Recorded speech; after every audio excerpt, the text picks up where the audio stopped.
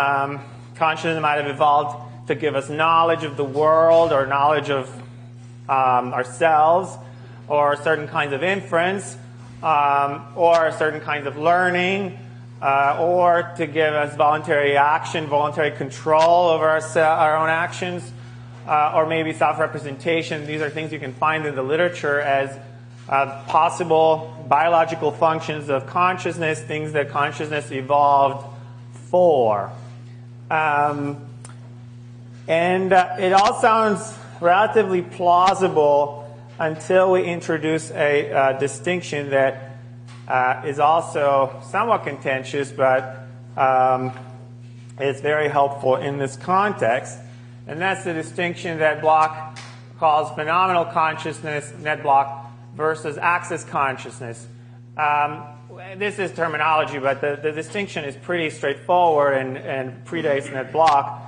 Um, and it's the distinction between the qualitative aspect of experience, um, the redness of a red experience, for example, or the blue versus the blueness of, a, of an experience of blue, um, or sometimes some people call it what it's like, what it's like to have a certain experience, versus um,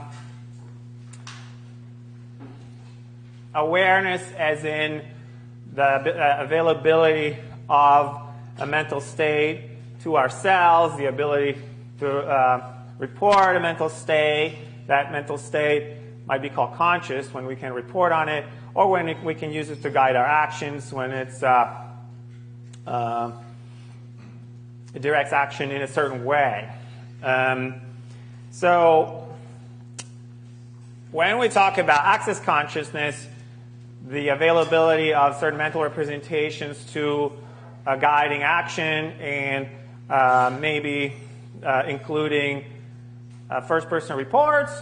Uh, I don't see any problem, any difficulty in attributing functions to consciousness in this sense.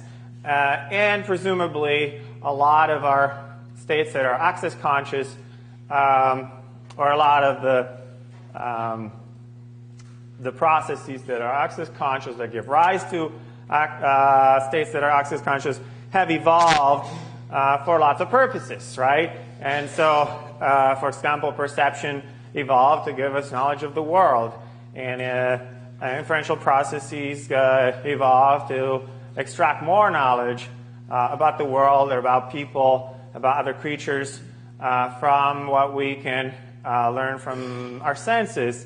And of course, motor control has evolved to guide our actions, et cetera, et cetera. You know, theory of mind evolved to give us knowledge of other minds.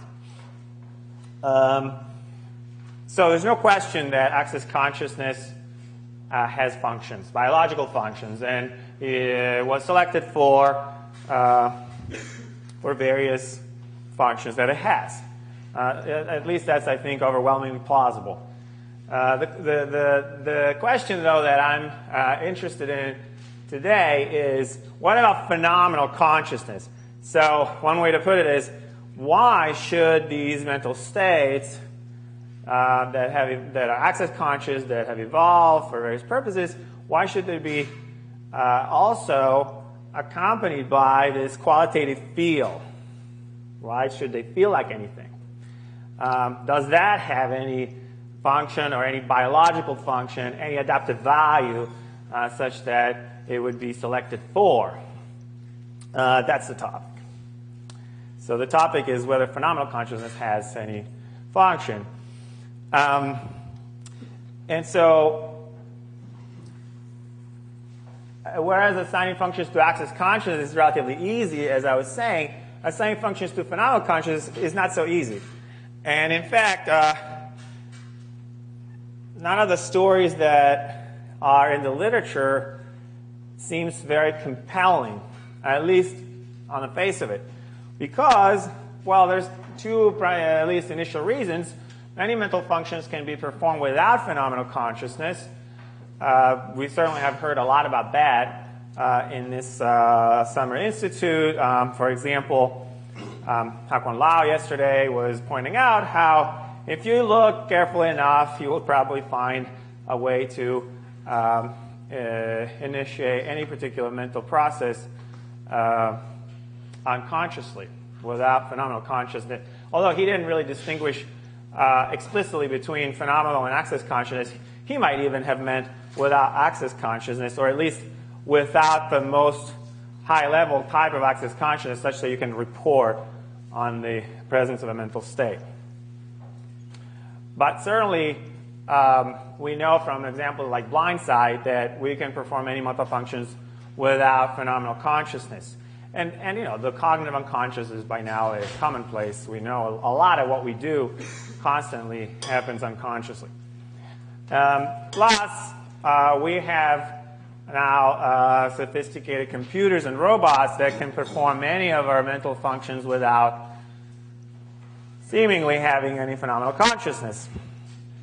Uh, so, by extension, from these sets of examples, we might wonder could we have a, a, system, either natural or artificial, that can do everything we can do, every mental function we can perform, without phenomenal consciousness? Okay, and now at this point, we need to introduce a uh, somewhat technical notion from um, evolutionary theory. That's the notion of a spandrel, um, or an evolutionary accident. Those are two sli- slightly different notions, but related. And these are notions of a trait or some aspect of a, um, a biological system that uh, is present even though it was not selected for. Okay, so here's a, um, a picture of the human eye, or the ver- which is an example of a vertebrate eye, the eye of a vertebrate. And uh, as you know, we have a blind spot because um, there's a hole in the retina. Why is there a hole in the retina? Uh, this is not something that was selected for, or at least we don't think so. There's a hole in the retina because um, the axons coming out of the retina uh, which need to reach the uh, thalamus, and then from the thalamus, they, you know, the thalamus projects to the visual cortex and so forth. So the axons from the retina um, are pointed inward instead of outward. Now, in uh, you know, in squids and octopuses, they're pointing outward, and so squids and, and octopuses they don't have a blind spot, but vertebrates do have a blind spot. Um, most likely, at least, you know, the common uh, view about this is that it was an accident. In the vertebrate evolution, somehow, for whatever reason, axons ended up pointing inward. In order to exit the eye, they needed a place to exit, so um, there's a hole in the retina because of that. So the hole in the retina is a spandrel. A spandrel meaning a byproduct of some other trait. In this case, the other trait is itself an evolutionary accident. It's the fact that the axons coming out of the retina are pointing towards the eye instead of away from the eye. So this example illustrates both spandrels and evolutionary accidents. Um, a spandrel is byproduct of something else um, that has no reason of its own to exist. It was not selected for. And an accident is also something that was not selected for. It just happens to be that way. Okay, so one common one common source of accidents is genetic drift. Okay, so if two variants of a gene have no um, relative advantage, neither one of them, neither one of them is uh, favored by um, selective pressures. It may well be that over time, one of them, accidentally, by random genetic drift, it um, takes over and the other one just disappears. It, it was not that, it's not that the one that survived was selected for, it's just that the other one um, drifts away. And so, you know, you're left with one, but it doesn't mean that it was better than the other or more uh, adaptive than the other. So the question now is could phenomenal consciousness be either a spandrel, an evolutionary byproduct of something else, or an accident? Um, by accident, I mean without a function, without a, bi- a biological function or an adaptive function. Um, and then more, uh, a related question is, um, could consciousness be either adaptively neutral, meaning it makes no difference for the purposes of natural selection and adaptation, or even somewhat detrimental? Okay, so in the example of the eye, um, the fact that the axons point inward arguably decreases visual acuity a little bit. If we didn't have the axons in the way, we might be able to detect uh, light a little bit better um, and see a little bit better. Probably not a big difference. Small enough that it was not worth selecting against. Um, the blind spot could be potentially detrimental a little bit, at least in some special circumstances. But, you know, the brain has evolved the ability to fill in and guess what's there. Plus, we have binocular vision, so as long as we have both eyes, um, we can use the other eye to um, compensate.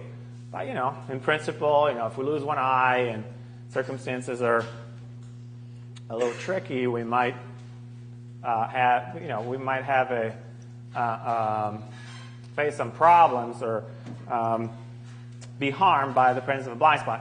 In principle, like, clearly it was not a, a, big deal. We've survived, and vertebrates have survived pretty well in spite of the blind spot. But it, the point is that it certainly doesn't help, and it could be a little bit detrimental. Okay. Um, so before we proceed, there may, there may be a couple of things to say. So we can't just, especially you know, when we talk about evolutionary theory, uh, it's a speculative uh, enterprise. We should try to be a little bit careful, a little bit constrained.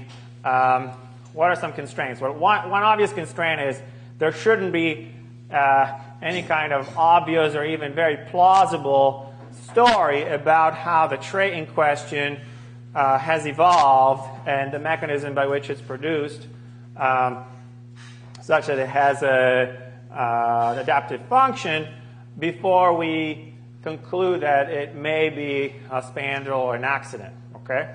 In the case of phenomenal consciousness, there isn't any such uh, compelling story. There is no compelling story to the effect that phenomenal consciousness has a particular biological function and is generated by a certain mechanism um, that would be uh, um, selected for. So, in this respect, it's a, at least a potential candidate for this hypothesis that it's a spandrel or an accident. Um, spandrels cannot be maladaptive in the sense of uh, leading to being selected against or being be, the traits that they're byproduct of being selected against. Um, so there's two different kinds of byproducts. One is a necessary consequence of a certain trait. The other one is an accidental consequence of a certain trait. Uh, if it's a necessary consequence, meaning that trait could not be there without having those consequences, for example, the blind spot is a necessary consequence of, presumably, of the wiring of the axons coming into the eye, they have to get out somehow, so they, they need a hole from which they get out. I guess, you know, the hole could be in a, in a place where there's no retina there, but um, um, if the retina covered the whole eye, let's say, then it would be a necessary consequence. If the retina doesn't cover the whole eye, it's an accidental consequence. Okay, so if it's necessary, it can be a little bit dysfunctional. Um, so long as the adaptive value of the trait that it's a byproduct of um, trumps this um, this functionality, right? So the trait itself, you know, having a well-functioning eye um, is so much more adaptive, so much more valuable to the organism than um, the degree to which the blind spot is dysfunctional that um, it doesn't lead to selection against the trait. Um, if it's not necessary, then it, it cannot be dysfunctional because uh, if it's really not necessary, that it could be selected against on its own and uh, and just eliminated that way. If it's just uh, kind of tacked on. Uh, but either way, it cannot be maladaptive. It cannot be maladaptive in the sense that it leads to, say, selection against the trait itself, against the, having an eye. Um, and there's no evidence that phenomenal consciousness is maladaptive in that sense. It's been around for a long time, probably. Um, and in fact, there are plenty of people who argue that it is adaptive. It's just that they don't seem to have a very um, compelling story for uh, what it was selected for.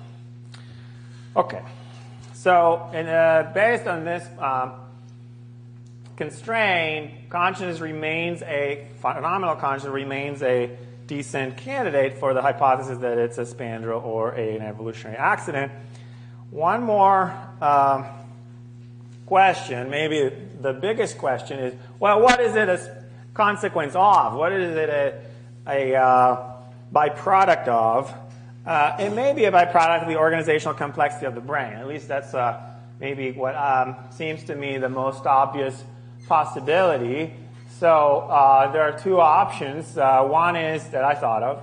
One is that um, enough tightly coupled components, enough tightly coupled neurons, a system that, that includes enough of these um, processors that are working together in specific ways, uh, maybe by natural law, gives rise to phenomenal consciousness.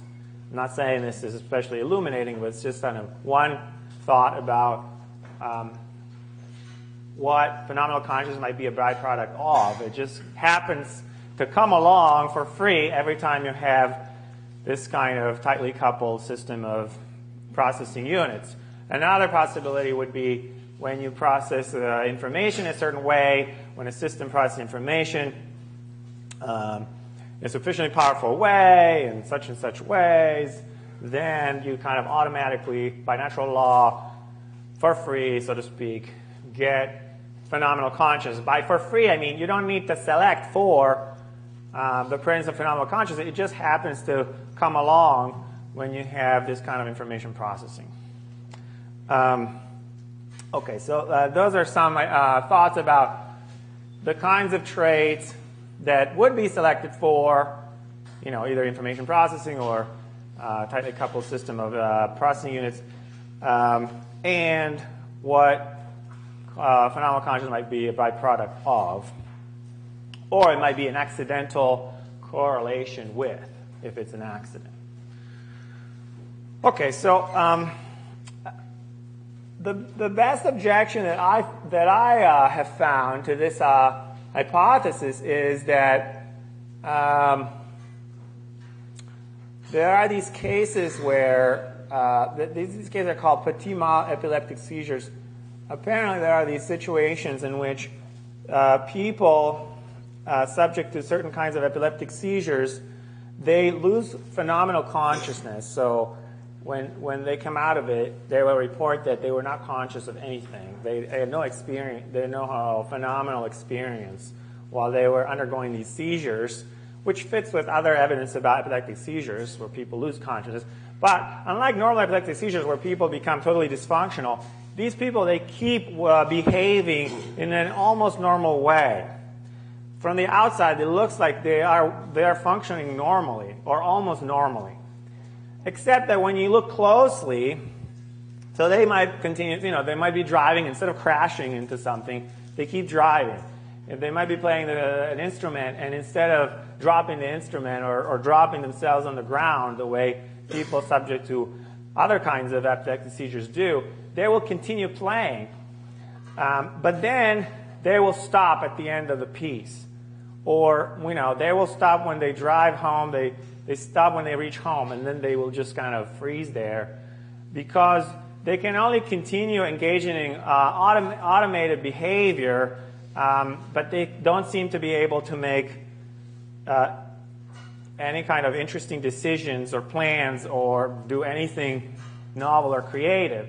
So then this suggests that, yes, to some extent, it's it's possible to behave in the absence of phenomenal consciousness. It's possible to do a lot of very sophisticated things in the absence of phenomenal consciousness, which to some extent, corroborates this hypothesis that phenomenal consciousness is really uh, a byproduct of something else that has no biological function of its own, except that something is missing, and that is genuine autonomy or uh, creative behavior, the ability to make choices. Uh, so that suggests that maybe that is the biological function of phenomenal consciousness, or something along those lines. Okay, so if this is a uh, a good indication of what phenomenal consciousness adds to normal cognition, namely, it gives us a kind of flexibility that we would lack otherwise, then, you know, we might have stumbled on the biological function of consciousness, of phenomenal consciousness. Um, but of course, there is another possibility, and the other possibility is that perhaps these particular conditions, petit mal epileptic seizures, affect both phenomenal consciousness and the brain's ability to integrate information so as to make decisions, et cetera, et cetera. So it may be that these condi- this condition either is the common cause of the loss of both, loss of both phenomenal consciousness and uh, flexibility in behavior, let's say, or maybe there is a common cause to both, and this epileptic uh, seizures affect that or, or you know, trigger this common cause. Um, the point of this is just to say um, this objection is not a knockdown objection. Um, it remains to be investigated further. Uh, whether there's any compelling evidence for a um, biological function of phenomenal consciousness. And if there isn't, the, the possibility that it's a spandrel that is a byproduct of something else or an accident, it remains in place. Okay. Now, um, this completes the first part of the talk in which I've introduced the hypothesis that phenomenal consciousness is uh, either a byproduct of something else or an evolutionary accident without its own biological functions. Now I'm going to spend a, a little bit of time discussing um, the relationship between this hypothesis, the, span, the accident or byproduct hypothesis, and the metaphysics of mind. Um, because there are very interesting interconnections between the two, such that, uh, for example, several views about the metaphysics of mind, the metaphysics of phenomenal consciousness, um, virtually entail the hypothesis that phenomenal consciousness is either a byproduct or a uh, accident, and therefore refuting this hypothesis, refuting the hypothesis that uh, phenomenal consciousness is a byproduct or a, an evolutionary accident, would also refute certain views about the metaphysics of mind, which you know I find to be an interesting um, discovery, so to speak. Um, and one way to get there is to discuss, or you know, remind you of philosophical zombies. These are um, thought experiments uh, that have been discussed heavily in the philosophical literature, especially over the last 15 years or so. The, mo- the best known kind is the number one, the non-conscious physical duplicate. This is supposed to be a molecule, molecule by molecule uh, duplicate of you, um, except the only difference, so he does everything you do, or she does everything you do, um, behaves exactly the same way. You know, EEG recordings are the same, brain scans all show the same activity, except the zombie has no phenomenal consciousness. Okay? This kind of zombie if it's possible, it entails a kind of property dualism about phenomenal consciousness. Um, there is another kind of uh, zombie that was discussed more in the 80s. Um, it wasn't called a zombie, but it can be called a zombie. It's the non-conscious functional duplicate.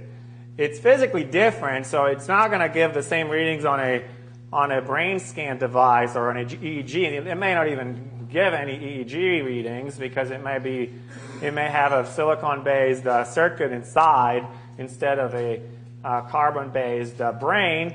Um, but it's functionally equivalent. It behaves exactly the way that you do.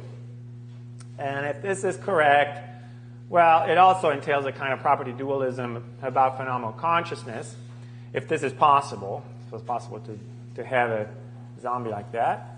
Um, now, there is another kind of zombie that's not been discussed in the literature. Um, uh, we're introducing it here for our purposes.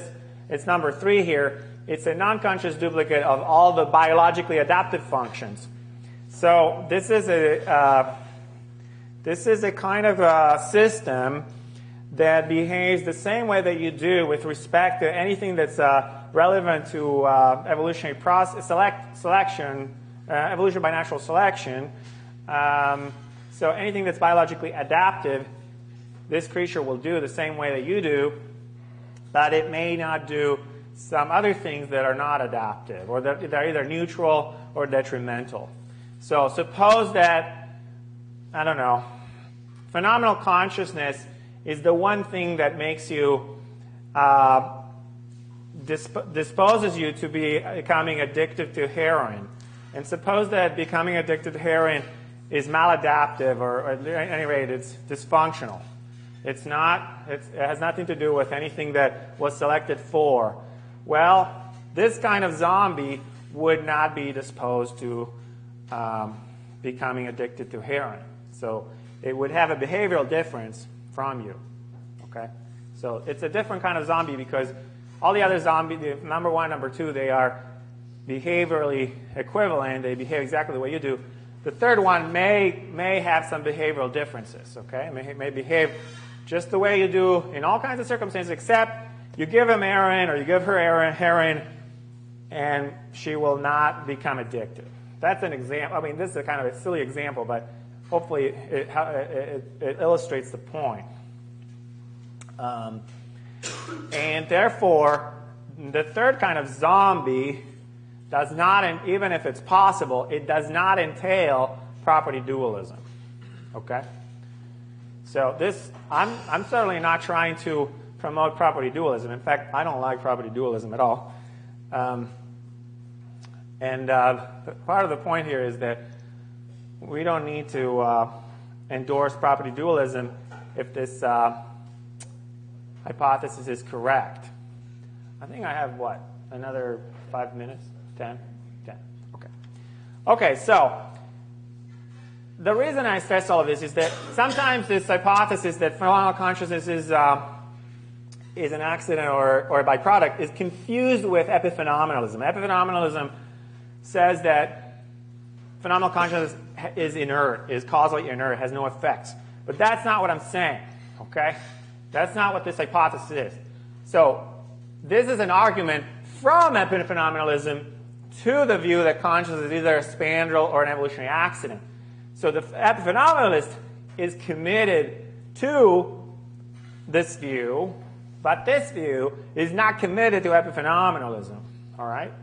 The reason why epiphenomenalism is committed is because number two is a, is a uh, I would say, unproblematic uh, premise to be added to epiphenomenalism. It's a premise that causally inert properties cannot be selected for. Since they don't have any effect, natural selection cannot uh, select for them. You know, natural selection is a natural causal process that has to uh, select for something based on the effects that it has. Um, so, epiphenomenalism. So, anybody who's an epiphenomenalist should like this hypothesis very much because it gets them off the hook with respect to how did it originate through evolution. Well, it originated this way, not because it was selected for. Property dualism, um, which is consistent with uh, epiphenomenalism, but it's not exactly the same view either, also um, ends up committed to this view. Why? Because dualism is the view that consciousness is a non-physical property. Um, I think it's plausible to uh, add premise two, and there is an argument for that. Namely, non-physical properties are physically inert, and then premise three is the same, approximately the same as the premise two in the previous argument.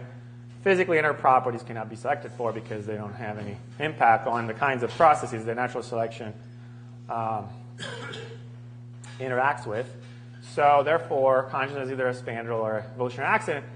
Um, again, though, this view, the view that I'm discussing, does not entail property dualism.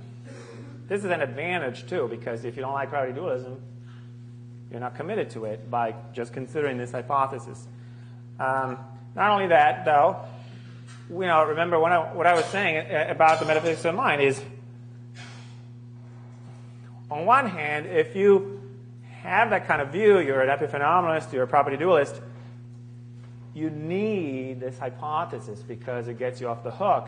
On the other hand, if you can refute this hypothesis, you're also refuting um, some um, views about the metaphysics of mind. You know, so you do modus tollens. If this is wrong, then probably dualism is wrong. Now, what I didn't really justify is uh, premise two that non-physical properties are physically inert. Not everybody will agree with that, but there is an argument um, called causal exclusion argument that uh, has been uh, pushed very hard by a philosopher named Jaegwon Kim. Um, and this is a version of this argument for property dualism. Since I don't have a huge amount of time left, I'm going to skip it. Uh, I'm just going to say it's a very plausible argument that says if um, if you start with non-physical properties, they're not needed for anything, for anything causal. Um, they end up being physically inert. Okay, because uh, you know the physical world is causally closed, meaning every physical effect has a sufficient physical cause. Okay. Um, now there is another kind of causal exclusion argument that works for non-reductive physicalism. Non-reductive physicalism is another metaphysical view about the mind. Um,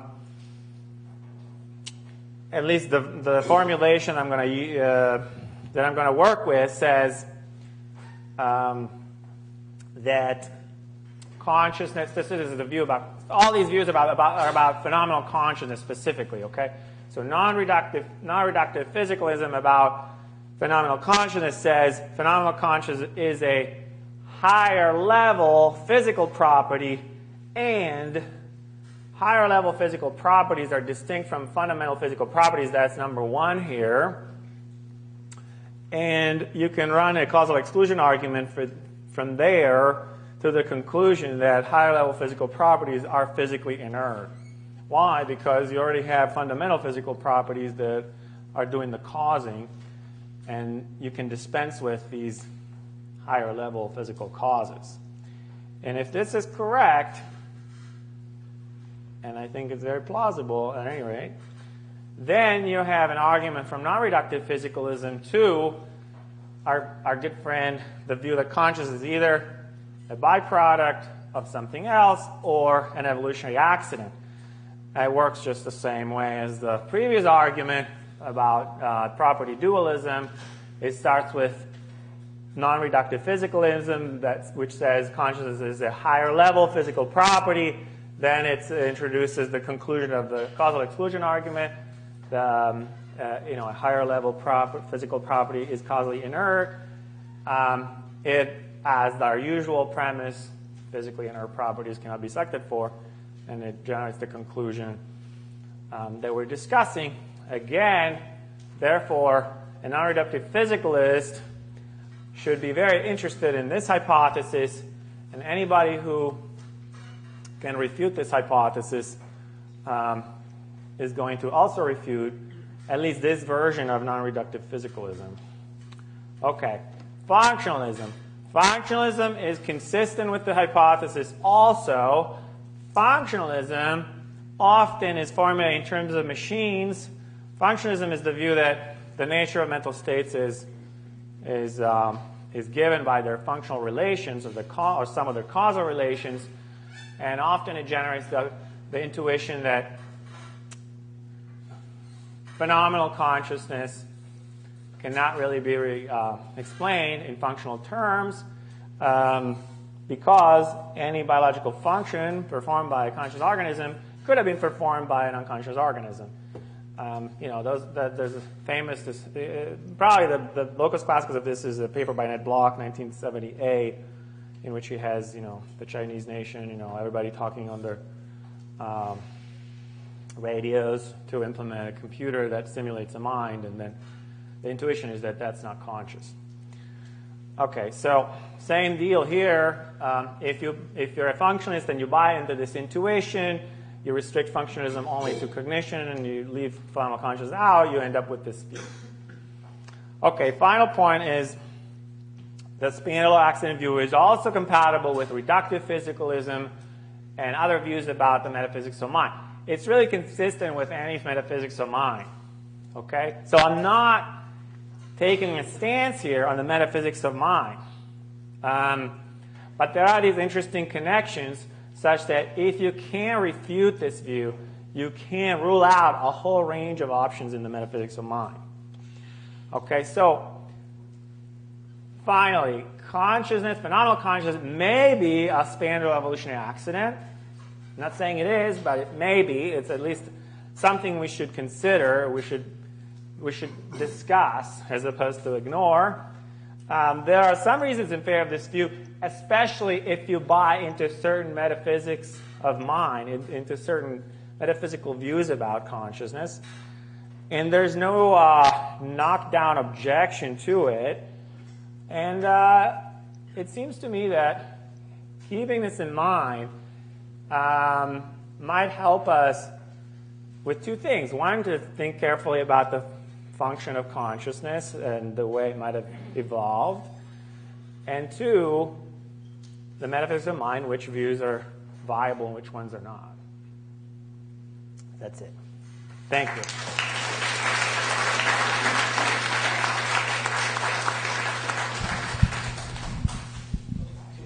So now question